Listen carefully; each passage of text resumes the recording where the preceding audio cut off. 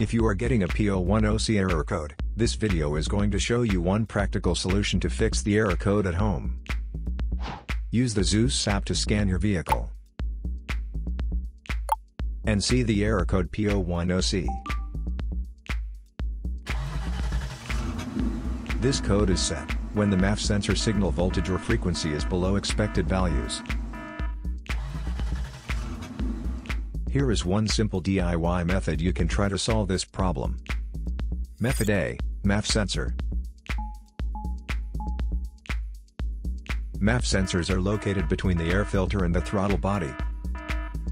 Carefully remove the MAF sensor from your car and do a quick inspection around. The wire inside often gets dirty and needs to be cleaned. You can spray the MAF sensor cleaner onto the wire perpendicularly to the ground so that it won't damage the MAF sensor. Reinstall the MAF sensor back in the car after it gets dry. So here is one of the most practical solutions to fix the P010C error code. After the repair, you can now use the ZUS app to clear the error code. And tap the rescan button one more time to make sure everything is fine with your vehicle.